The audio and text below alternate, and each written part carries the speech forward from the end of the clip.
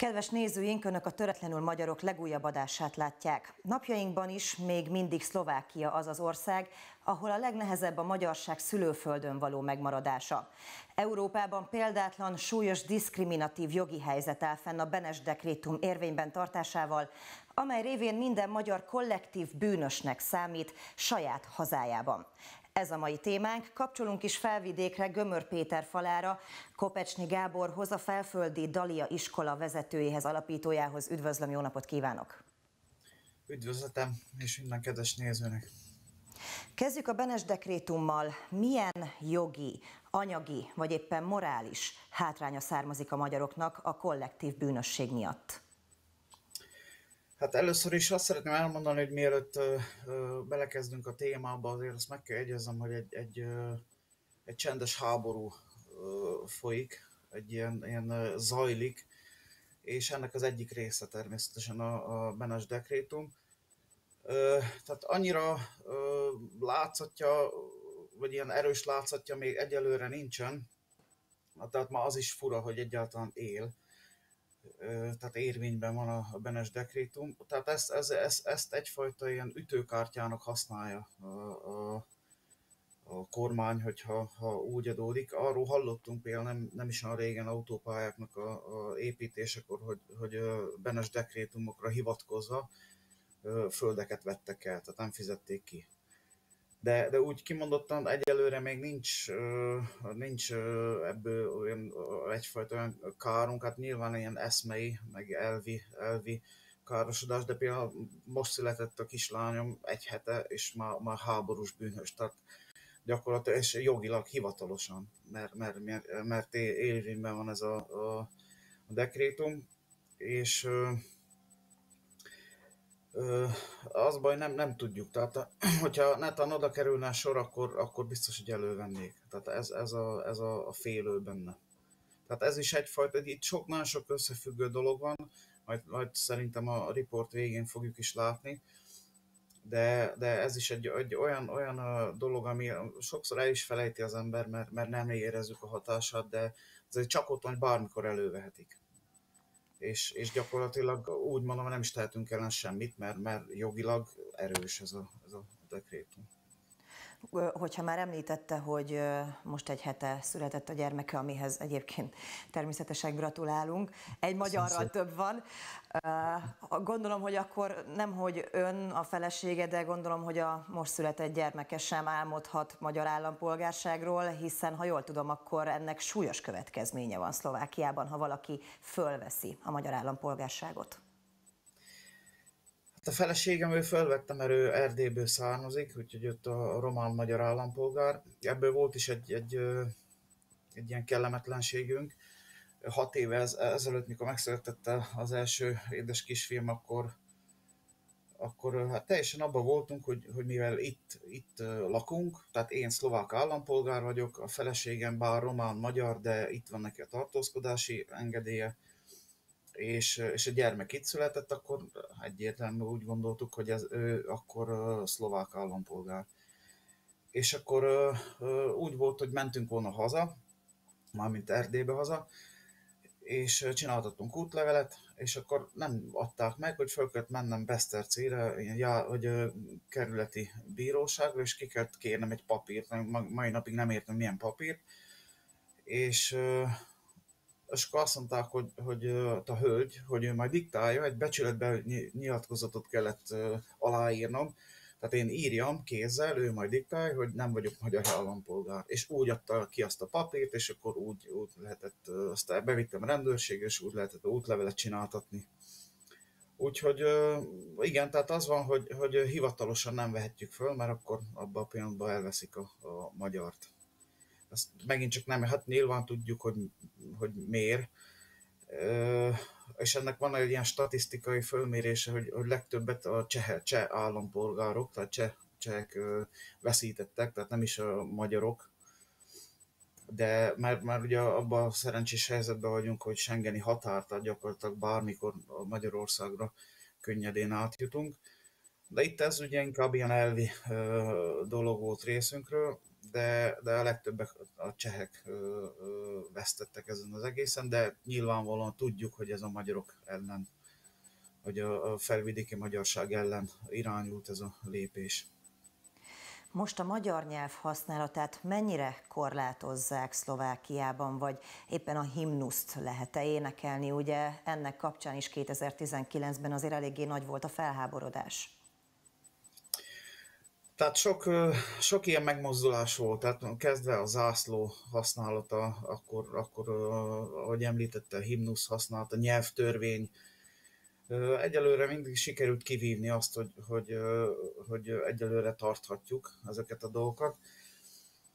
Hát a, a, nyelv használata, én azt, azt gondolom, hogy, hogy ott azok a, a magyar emberek vannak nehezebb helyzetben, ahol kevesebb a magyarság. Most hivatalosan kimondja a, a törvény, hogy, hogy az a település, a, a, amin 20% fölött van, vagy ahol 20% fölött van magyarság, ott, ott lehet használni, a, tehát hivatalosan is a magyar nyelvet. Sőt, jogunkba áll például egy, hogyha bemegyünk intézkedni, és akkor egy szlovák van, akkor, akkor egy magyar, magyar kollégát igényelni. Hát nyilván ezt, ezt nem nagyon szokták uh, kihasználni. Van rá példa, mert van, vannak ismerősöm, akik kimondottan kérték. De így, így megint csak mondom, ilyen csendes háború, tehát nem a, nem a hivatalos verzió, hogy azért éreztetik azt, hogy azért csak Szlovákiában vagyunk, a Szlovákiában szlovákul beszélünk, tehát van egy ilyen szlogenjük a, a szlovákoknak, hogy a na szlovánsku, poszlovánsky, úgyhogy Szlovákiában szlovákul, tehát csak ők ezt így erőszeretettel használják. Hát meg azért az benne van a, a pakliban minden esetben, hogy azért minket se kell féteni, tehát azért van egyfajta ö, hevülésük a szlovákoknak, de ugyanakkor nekünk is, és én azt mondom, hogy hát jogosan tesszük, és sokszor mink is egy, egyfajta reakciót váltunk ki belőlük, de hát, hát ez van, tehát nekünk is van mit követelni, és van mit féltenünk. Visszatérve a magyar nyelvre, Hát volt egy egy nyelvtörvény, amit szerencsére nem, nem hagytak jóvá, de például az akkori magyar vezető politikusaink elvitték egész Brüsszelbe ezt a nyelvtörvényt, és a Brüsszel azt mondta, hogy, hogy ez Szlovákiának a belügyei, ezzel nem kíván foglalkozni. Tehát egy Brüsszelről, meg az Unióról. Most pedig a régiókat akarják átszabni, nyilván azért, hogy ne legyen olyan megye, ahol a magyarság többségben van. Hol tart most ez a folyamat? Ez már megtörtént egy, egyszer, tehát ugye akkori, hogy a történelmi vármegyéket már eleve föl darabolták, és az volt a cél, hogy mindenhol a magyarság kisebbségben legyen. Például ott van Pozsony, vagy, vagy Komárom, tehát a régi Komárom vármegye, tehát ezek itt a itt több magyarság él, vagy gömör, és, és ilyen, ilyen hosszúkás csíkokba vágták fel az országot, azért, hogy, hogy mindenhol, tehát ez is egyfajta ilyen, ilyen magyar vagy nemzetellenes megmozdulás volt, tehát azért, hogy kisebbségben legyen mindenhol a magyar. Ugye, tehát ez, ez már, tehát amikor azt, arról beszélünk, hogy megye, tehát ez, ez uh, felvidéken, Szlovákiában már nem létezik, kerületek vannak. Tehát még megyé, megyéként, vagy megyeként nevezzük, de igazából hivatalosan az már nem. Tehát ez kerületek vannak, és azután vannak járások. Na most itt, itt még vannak olyan, olyanok, mint például a, a Dunaszerdei járás, Komáromi járás, tehát ahol, ahol tényleg több magyarság van. Valószínű ezt a, a hogy erre próbálnak egy ilyen megoldást találni, hogy, hogy ezt szeretnék még jobban meg, hogy fölrobbantani. Úgyhogy egyelőre még nincsen semmi konkrét lépés. Nyilván közrejátszik az is, hogy, hogy szeptemberben lesznek a parlamenti választások, úgyhogy lehet, hogy addig még jegelik ezt a dolgot. Egyelőre még csak mink is hallunk róla, hogy, hogy vannak ilyen elképzelések. Szlovákiában bevett gyakorlata történelmi tények teljes elhallgatása, vagy nagyon sok esetben a teljes elferdítése. Ez hol és hogyan nyilvánul meg? Igen, ez egy kényes téma, meg kicsit ma, ma ilyen, ilyen szánalmas téma. Hát elsősorban ugye a, a, a történelem. Tehát az, az a, a egyik ö, ö, legláthatóbb ö, jele. Ez azt jelenti, hogy, hogy, hogy aki, tehát egy nagyon egyszerű elvük, aki Szlovákiában, Szlovákia területén, a mai Szlovákia területén született, az a szlovák. Tehát meg lehet, hogy majd én is nagyon nagy híres szlovák leszek. Tehát már tudjuk, a Skultét őt, őt teljes mértékben szlováknak, Hadikot is szlováknak titulálják. Hát vannak ilyen történelmi hősök, akiket erőszeretettel próbálják a magukénak tenni. És hát igazából azért van a szánalmas, mert mi azért tudjuk, meg azért az igazi történelem, az, vagy legalábbis az írott források, ezek egyértelműen teszik. Ők valahol szerintem van egy ilyen kisebbségi érzésük, és, és ezt próbálják egy nemzettudatként föl turbózni, hogy úgy mondjam, és próbálnak egy ilyen, ilyen hősöket formálni ezekből a történelmi személyekből. Hát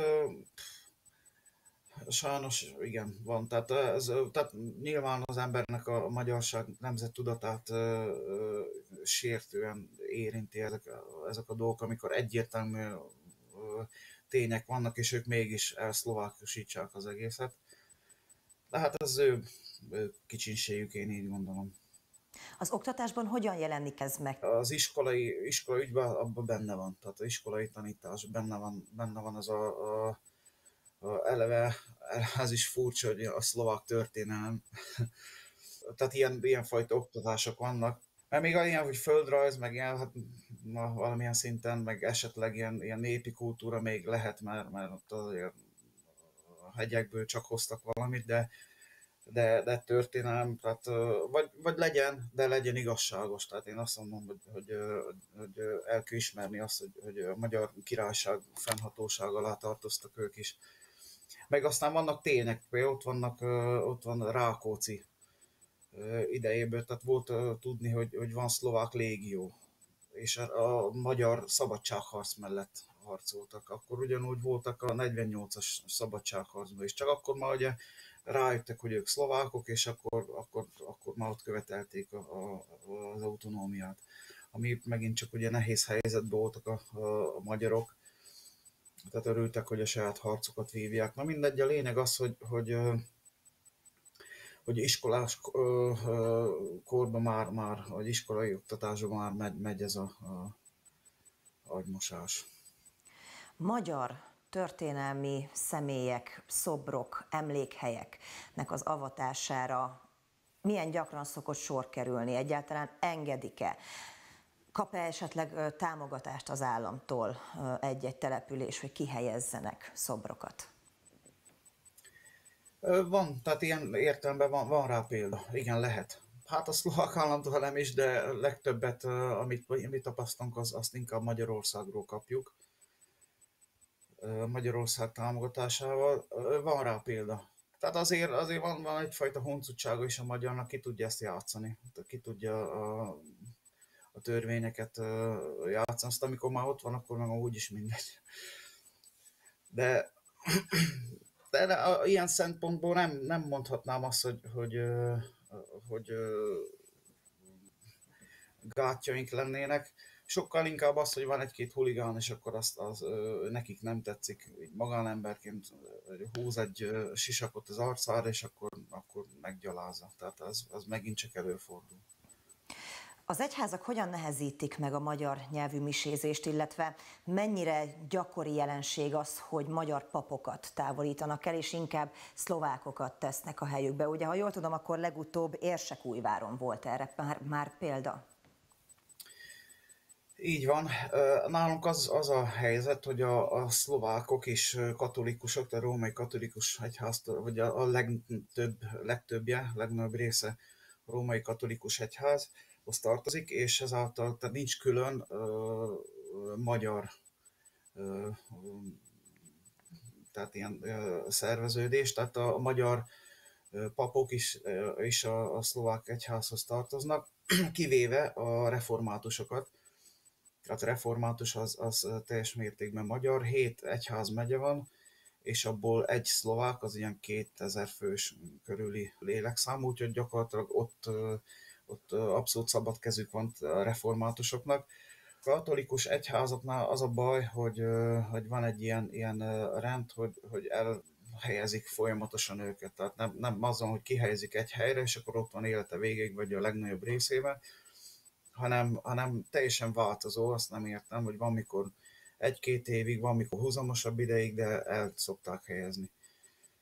És, és ilyenkor az van, hogy nyilván a, a, a szlovák pap megpróbál valamit felolvasni magyarul, de, de csak a, a szertartásnak a egy-egy elemeit, de már prédiko, prédikációját más szlovákul tartja.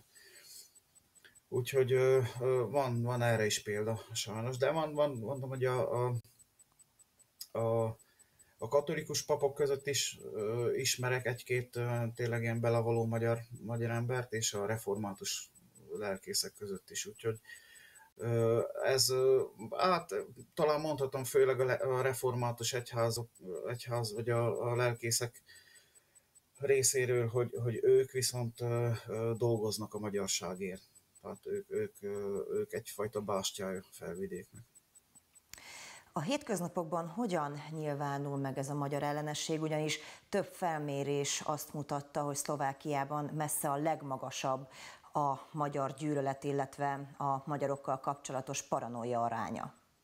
Azt tudom mondani, hogy a, azokon a területeken, ahol, ahol szórványban élnek a magyarok, tehát ott próbálkoznak, ott bátrabbak a, a szlovákok. Hát nyilván egy olyan, bemennek Dunaszerdehelyre, egy, egy a helyre, ahol, ahol 95% magyar, akkor nem biztos, hogy ott fognak kötekedni, mert, mert a, a fagyi az gyorsan viszonyal.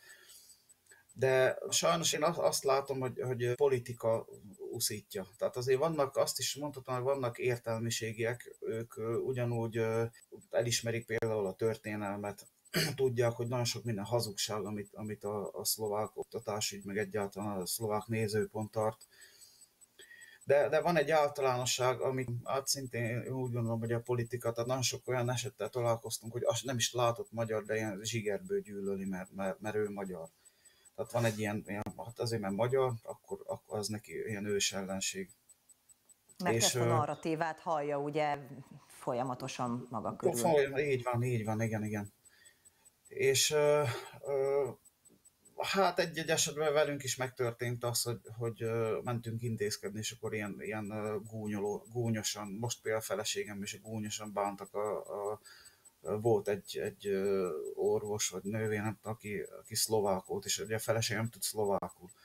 Egy román-magyar állampolgár, mondta neki, hogy beszéljem angolul, ott illene tudni angolul.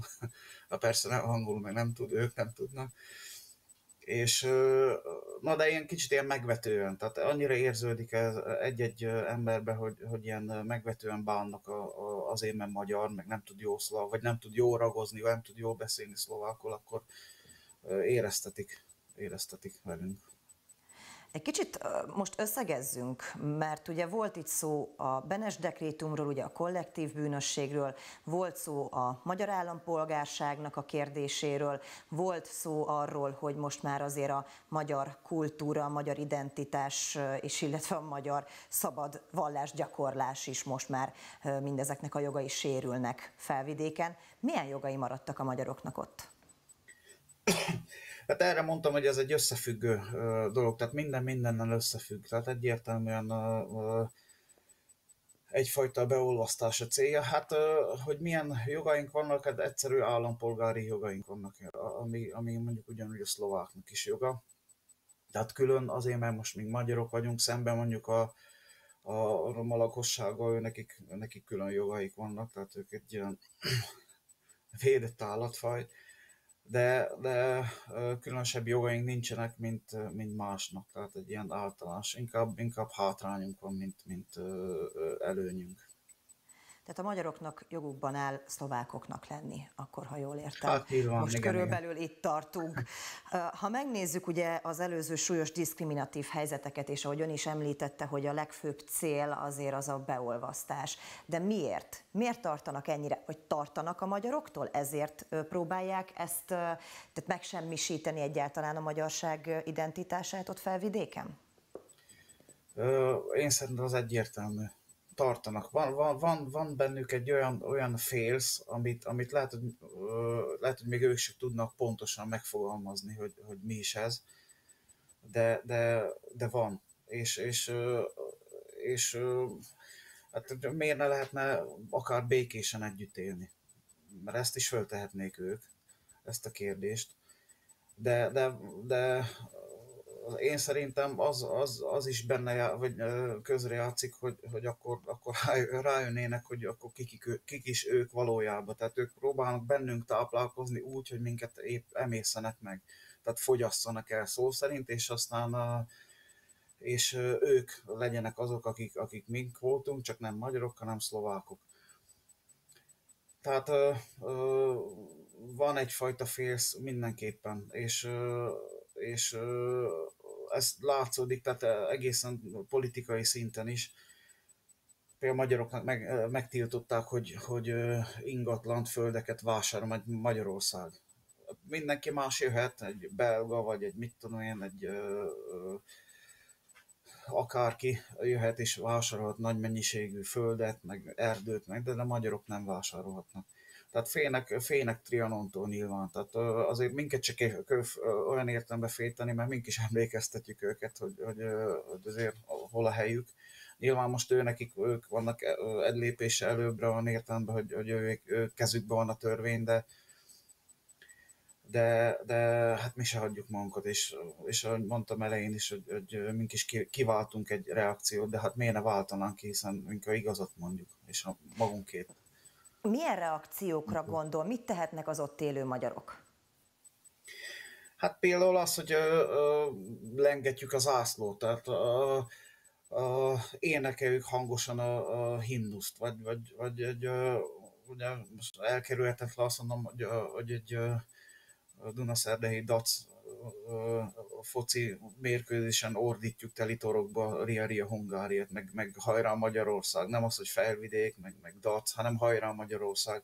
És hát nyilván persze, hogy őket sérti, meg ők azért tudják, hogy ez a terület, az, vagy ez az egész terület, mert úgy, ahogy van a Szlovákiának, az egész területen Magyarországhoz tartozott, és hát persze, hogy ezzel azt utána ö, ö, őket is sérti, de hát nem hazudunk. Kik azok a szervezetek, akik kiemelten foglalkoznak felvidékkel, akik próbálnak segíteni, felhívni a figyelmet a Szlovákiában zajló diszkriminatív jogi helyzetre? Hát ilyen értelemben nagyon sok, sok van, sok, sokat, sok szervezettel találkoztam, mert próbálja mindenki ugye ezt a helyzetet hangsúlyozni de uh, konkrétan ilyen, ilyen, hogy uh, most utolsó, ilyen, hogy utóbbi megmozdulások a Magyar Turán Alapítványból voltak, egy nagyon szép kerek cikket uh, uh, írtak, amit, amit a, a felvidéki a média is átvett, és uh, ugyanúgy továbbította a felvidéki magyarság felé. Részben mink is ugye a, fel, a Magyar Turán felvidékhez tartozunk, de, de nagyon sokan segítenek is. Tehát most mondhatom azt, hogy a Rákóczi Szövetség iskolákat, óvodákat támogatja, a Nemzetpolitikai Államtitkárság óvoda fejlesztéseket, tehát építi, tehát konkrétan azt mondom, nevezük úgy, hogy felvidéket. Tehát nagyon sok, szerencsére nagyon sok, és sok szervezet segít, és, és tényleg az van, hogy sokkal könnyebben kapunk támogatást Magyarországon, mint, mint nevezzük úgy, hogy a saját hazánkban. Kedves Gábor, egy kérdésem van még, meddig tudnak kitartani ott felvidéken a magyarok? Hát amíg kell, amíg, amíg uh, újra Magyarország nem lesz felvidék, addig folyamatosan dacolni fogunk, így is, úgy is. Kedves Gábor, nagyon szépen köszönöm a beszélgetést és azt a bátorságot is, amivel ön rendelkezik, hiszen nem könnyű feladat azért a szlovákiai felvidéki helyzetről beszélgetni. Úgyhogy nagyon szépen köszönöm még egyszer, és sok boldogságot kívánunk önöknek, főleg a kisgyermek miatt. Nagyon szépen köszönöm még egyszer. Én is köszönöm, és köszönöm szépen a bizalmat. Kedves nézőink, legközelebb június másodikán várom Önöket, addig is vigyázzanak magukra, viszontlátásra!